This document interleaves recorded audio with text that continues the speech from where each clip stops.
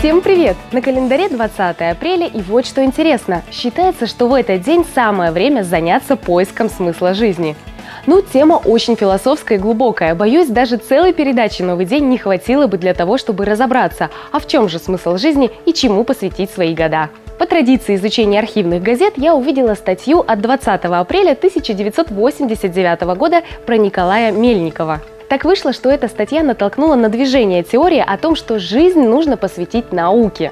Николай увлекался научно-технической литературой, свободное время проводил в библиотеке. И вот год назад, когда он учился на последнем курсе, родилась идея, которая официально признана изобретением.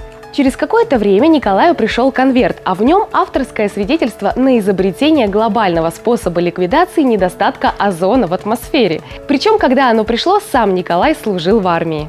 Какой разносторонний человек, и тут и там успевает. А вот следующий мужчина, о котором статья от 1975 года, с головой погрузился в одно дело. Анатолий Селиванов на своих уроках физкультуры демонстрирует киноленты о тренировках больших спортсменов. Большинство кадров дается в замедленном темпе, что дает возможность детально разобрать физкультурные упражнения спортсменов. В перспективе будут отсняты фрагменты тренировки учеников школы номер 36 с последующим разбором ошибок и тонкостей. Я сама училась в школе номер 36, и никто, к сожалению, нам фильмы не показывал. Конечно, столько лет прошло, все уже давно изменилось.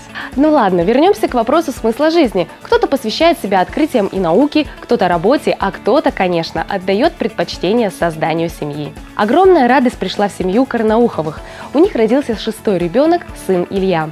Вера и Георгий, родители новорожденного, 17 лет живут в браке. Отдел ЗАГСа устроил праздник для родителей многодетной семьи и вручил памятную медаль родившемуся в Ангарске. Вывод таков. Жизнь у всех разная, и каждый сам вкладывает в нее свой смысл. Нет правил и шаблонов, живите так, как посчитаете нужным. Главное, чтобы вы оставили след в истории или в чьих-то сердцах. Пожалуй, такими красивыми словами и закончу рубрику «Наединек». Всем хороших выходных, увидимся в понедельник. Пока-пока.